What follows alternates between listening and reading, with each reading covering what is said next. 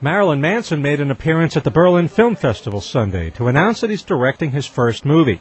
Phantasmagoria will tell the story of Lewis Carroll, the author of Alice in Wonderland.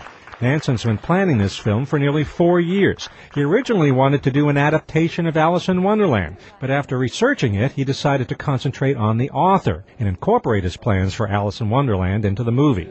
Uh, well, it wasn't a it wasn't a vanity project. Um, if anything, it's it's out of humility because the character is very um, vulnerable, and um,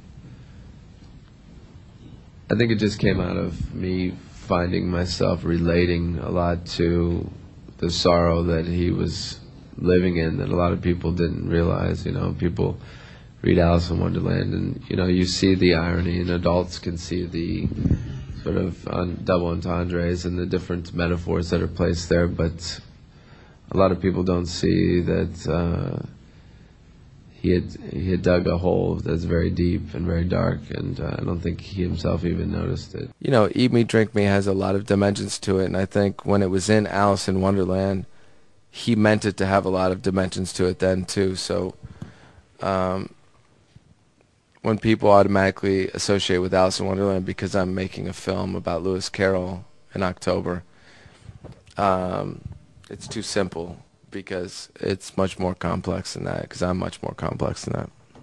But I think Lewis Carroll, when he put that in Alice in Wonderland, was making a reference to the Christ myth and was making a reference to the same place where Bram Stoker took Dracula from.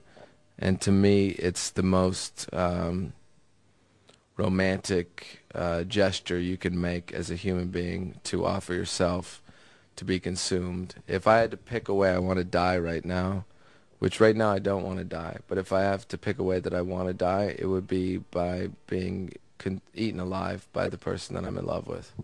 That to me is the most romantic way to die. Um, tell us a little about that, because you're almost done, or no, no. I, I, the, I spent the the time when I wasn't making music, writing the screenplay about Lewis Carroll, and I was very fascinated with his diaries because he's, to me, much more complicated than a lot of people have perceived him. A lot of people think, oh, he was uh, a pedophile or he was many, many different things. But I read his diaries and I recognized a lot of things that I identified with. He was very Jekyll and Hyde. He was Charles Dodgson, and he was Lewis Carroll. One was a mathematician and supposed to become a priest, and the other was someone who wrote fantastic fiction stories. And that inspired me to write a script. In the process of writing that, I started to become too deep into the character, and I started to become Jekyll and Hyde in some ways. So I'm happy that I made this record because it gave me time to have the distance.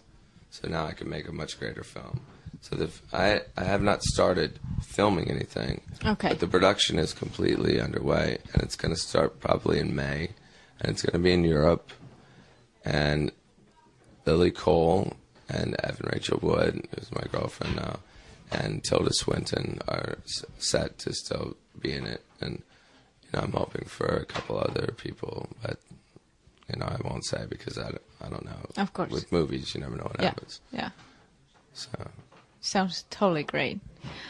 It's gonna be scary. I promise that, but not. Oh, that's good. A slasher film in the tradition of Polanski and Ingmar Bergman and the the true great psychological horror filmmakers. Yeah.